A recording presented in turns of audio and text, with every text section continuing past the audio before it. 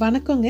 இன்னைக்கு நம்ம வீட்டில் இருக்கக்கூடிய பொருட்களை வச்சு சாயந்தரம் டீ காஃபி கூட சாப்பிட்ற மாதிரி மொறுமொறுப்பான ஒரு வடை எப்படி செய்கிறதுன்னு பார்க்கலாம். இதுக்கு பேர் பிரெட் வடைங்க. ஆமாங்க சரியாக தான் கேட்டீங்க. வீட்டில் இருக்கக்கூடிய சாதாரண பிரெட்டை வச்சு ஒரு மொறுமொறுப்பான வடை எப்படி செய்கிறதுன்னு பார்க்கலாம். இதே ரெசிபியை இங்கிலீஷில் பார்க்கணுன்னா மேலே இருக்க லிங்கை கிளிக் பண்ணுங்கள் இந்த வடை செய்கிறதுக்கு நான் இன்னைக்கு நாலு ஸ்லைஸு ப்ரெட் எடுத்திருக்கேன். இது கூடவே ஒரு வெங்காயம் நாலு பச்சை மிளகா ஒரு சின்ன பீஸ் இஞ்சி. அடுத்ததாக இது கூட ஒரு அரை கப் அளவுக்கு ரவை எடுத்திருக்கேன்.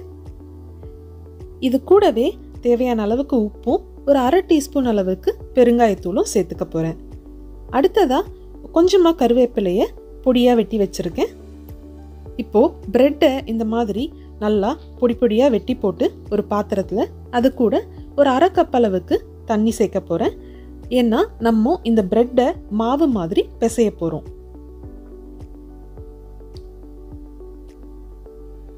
இந்த மாதிரி கை வச்சு நல்லா பிசைஞ்சு விடுங்க.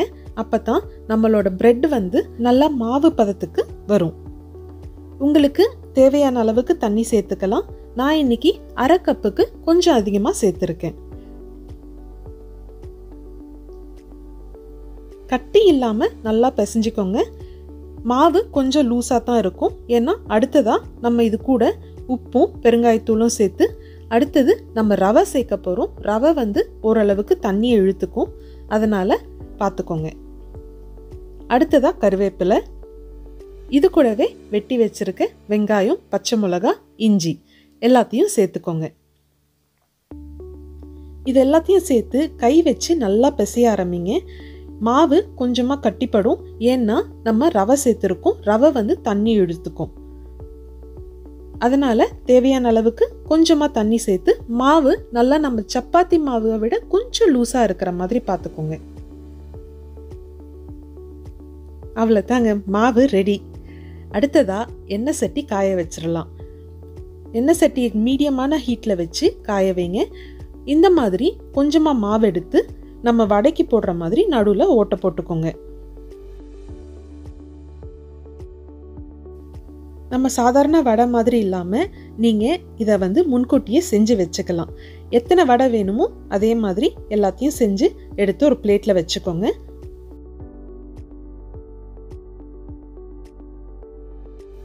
இந்த மாதிரி எல்லாத்தையும் செஞ்சு முடிச்சதுக்கப்புறமா உங்கள் எண்ணெய் பாத்திரத்துக்கு ஏற்ற மாதிரி ரெண்டோ இல்லை மூணோ எத்தனை வேணுமோ அத்தனையை போட்டு வறுத்தெடுத்துக்கலாம்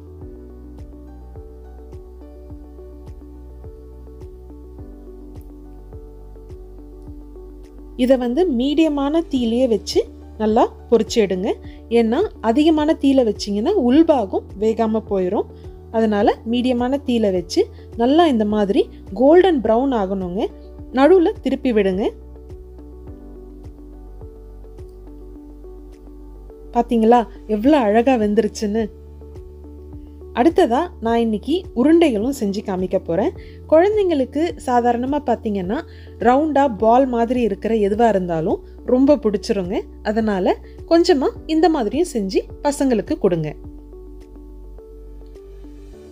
இதுவும் அதே ப்ராசஸ் தாங்க. மீடியமான தீயில் வச்சு நல்லா கோல்டன் ப்ரௌன் ஆகிற வரைக்கும் வறுத்து எடுத்துக்கோங்க.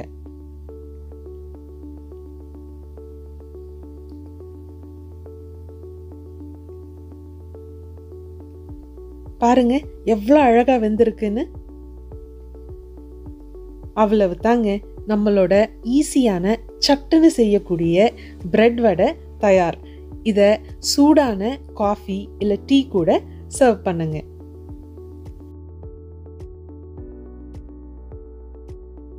இந்த வீடியோ உங்களுக்கு பிடிச்சிருந்ததுன்னா லைக் பண்ணிவிட்டு சேனலுக்கு சப்ஸ்கிரைப் பண்ணுங்கள் அப்படியே பக்கத்தில் இருக்க பெல் பட்டன் அமைக்கிட்டிங்கன்னா உங்களுக்கு இனிமேல் நான் போடுற வீடியோஸ்க்கு நோட்டிஃபிகேஷன் வந்துடும்